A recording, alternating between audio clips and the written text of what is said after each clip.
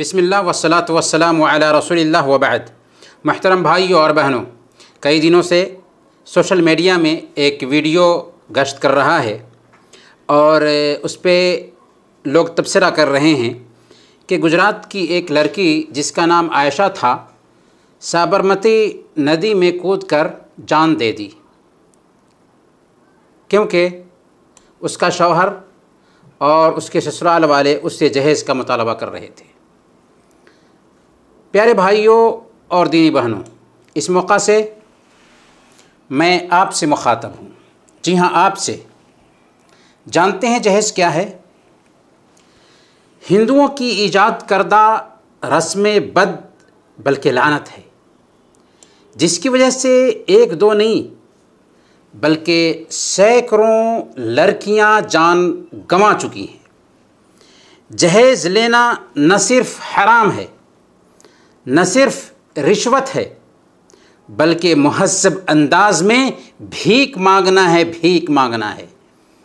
भीख लेकर कितने दिनों तक अपना पेट पालोगे? तुफ है भिकारी तेरी जवानी पर। और हाँ मैं सास से कहूँगा, क्या तेरे पास बेटी नहीं? क्या तू चाहेगी कि तेरी बेटी के साथ वैसा ही मामला किया जाए जैसे तू अपनी बहू के साथ कर रही है? तुझे शर्म नहीं आती? औरत होकर औरत को ही सिता रही है?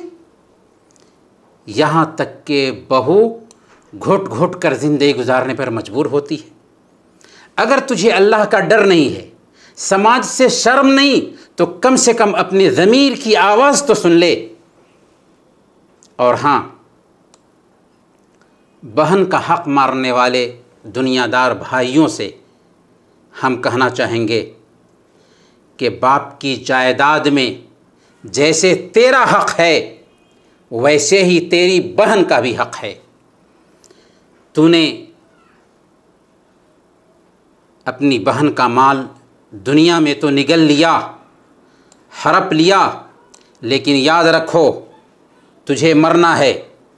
कल क़यामत के दिन अल्लाह के पास पहुँचना है। तेरी पहाड़ जैसी नेकियाँ बहने आएँगी और बांट कर ले जाएँगी। बड़े घाटे का सौदा कर रहे हो, संभल जाओ, दुनिया चंद दिनों के लिए है। और हाँ मुसीबत के मारे भाइयों और बहनों, अगर दुनिया वाले तुझे सताते हैं, परेशान करते हैं, टार्चर करते हैं तो हिम्मत मत हारो। दुनिया आजमाइश का ही नाम है। वो बुजदिल होते हैं जो अपनी जान गंवा बैठते हैं। ये जान जो तुझे मिली है, उसके तुम मालिक नहीं, बल्कि तेरा खालिक उसका मालिक है। अपने नबी की सुनो। इदा अराद अल्लाह बेअब्दिल खैर, युसिब मिन, अल्लाह जब अपने बंदों या बंदियों के साथ अच्छा मामला करना चाहता है तो उसे किसी न किसी तकलीफ़ और परेशानी से दो चार कर देता है। मसाइल का हल ख़ुदकशी नहीं, आत्महत्या नहीं, सुसाइड करना नहीं, बल्कि मसाइल से निमटना ही मसाइल का हल है और एक मुसलमान अल्लाह की तकदीर से राज़ी होकर सब्र करता है, ख़ुदकशी नहीं करता, सुसाइड नहीं करता, क्योंकि जान गंवाने के बाद भी चैन नहीं है।